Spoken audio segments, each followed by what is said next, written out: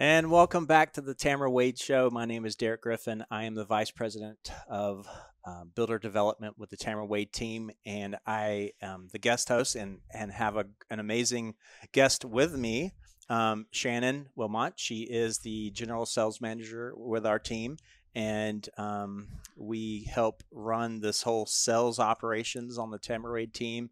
And um, I could not be more excited to have uh, Brittany and Shannon Brittany specifically on the show today. Um, uh, sorry, Shannon with on the show today um, with me right now. Um, they are doing an amazing job uh, with our builders and and our sales agents, and just extremely excited to have you guys. Thanks, Derek.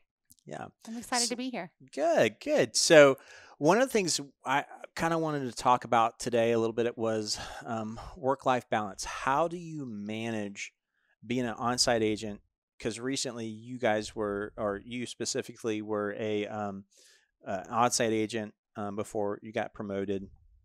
I was an on-site agent for about eight years before I stepped into management. But um, kind of speak a little bit about work-life balance and what the expectations is for a new home sales agent, and kind of you know, how do you manage it? Well, gosh, any working mom knows it's it's a delicate balance. Um, that is especially true in new construction because you work a lot of weekends. Sometimes you have to stay late.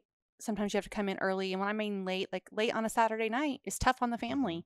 That's family time. So it just takes a lot of balance um, and a lot of planning. Mm-hmm. On Saturdays, when you know you're going to have a busy day, it's like getting in there extra early to make sure things get done so that you get home in time to have dinner with the family and to play with the kids.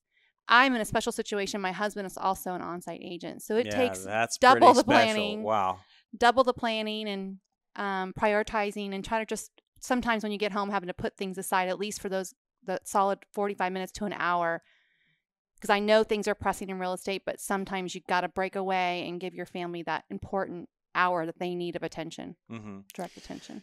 Yeah, I mean, I just I one of the things that was critical for me when I was on site was I, I wanted to stay to have some kind of consistency and keep that consistency by taking off the same days off during the week. So I would try my best to take off Mondays and Tuesdays.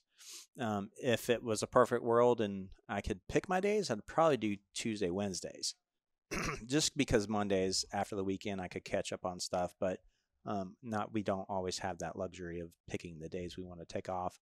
But working the weekends is is it's an absolute mandatory thing that we we get yeah. to do. But telling you, we made a lot of money working on the weekends, so that's that's where the money is. And um, but as far as work life balance, yeah, I mean you gotta you gotta plan it out. Well, and for us, it was just talking to our children, helping them to understand that you know we have this life because we work hard and sometimes it takes me away from you but i do it for our family so sometimes mm-hmm. it's just mm-hmm. about just explaining it to them mm-hmm. and your friends and your friends will understand and your family normally if you explain to them they understand as well mm-hmm. that's yeah it's it's all about expectations and kind of setting that out which is sounds like you guys have done that um so your husband lee mm-hmm. is an on-site agent that's i don't my wife is a school teacher so you know it's a little bit different but um yeah, that's interesting. yeah, it's kind of strange sometimes to juggle that. Yeah.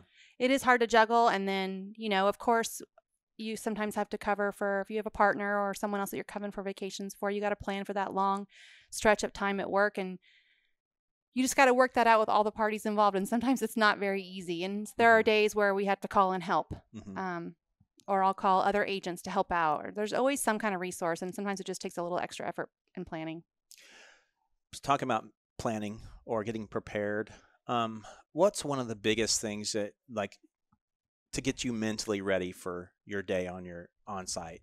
Um, one, and I'll just give an example for me. This is kind of silly, but you know, this was ten years ago when I was selling.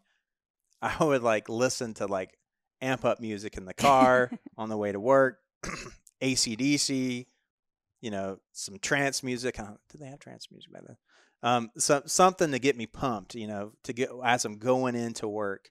Um, and I would do that, and I, and it would really mentally get me hyped up for the day. Um, what are some of the things that get, that gets you uh, that gets you mentally ready for your day? Most women probably feel this way. It's looking the part. Mm-hmm. It's getting up every day and making sure that I look like the professional that I want to be in the office every day. So just m- mentally knowing that I feel the part, I look the part. Now let's go accomplish. Let's go get this done. For me, it was just about getting ready every single day. And I know it's not all about the shoes and the clothes, but it was just about physically getting ready and preparing myself for the for what I was going to happen that day. Mm-hmm. And for women, a lot of times that's how we feel mm-hmm. and how we look and how we feel are often correlated right. No, I so that's it. what did it for Yep. me and then um, when i would when i would get to my subdivision for me it was organization it was Mm-hmm.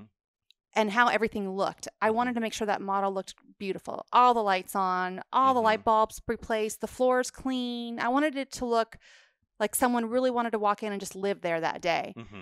and that made my time more pleasurable there as well because Mhm. then i always wanted to stay didn't mind staying in this beautiful home Yeah, that's that's awesome. And I know um, our model homes are decorated really nicely, but to to keep up that look and um, for me, it's the energy and and I would get into work and I would just want to always have the energy and focus so that I n- never had a down day um, because if you know somebody came into my my community and if I had that energy level up, it kept me on top of my follow up.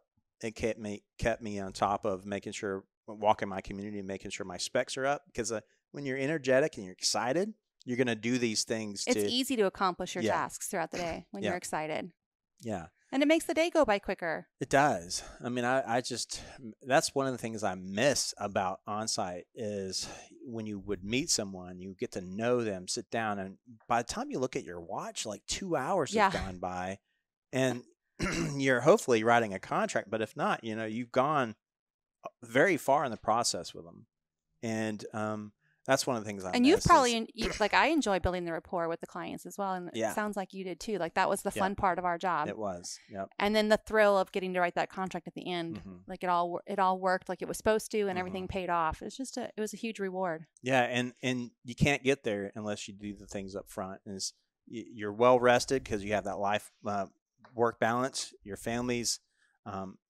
excited and supportive of you as you go and do your thing on the weekend. You go in with that high level energy.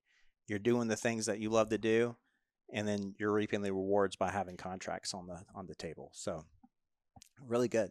That's Yeah. awesome. Well, thanks so much, Shannon, Oh, for thanks, being here with us today. Um, we're gonna, um, you know, have some more podcasts. Would love to have you along with us on this Great. 2020 ride. great thank you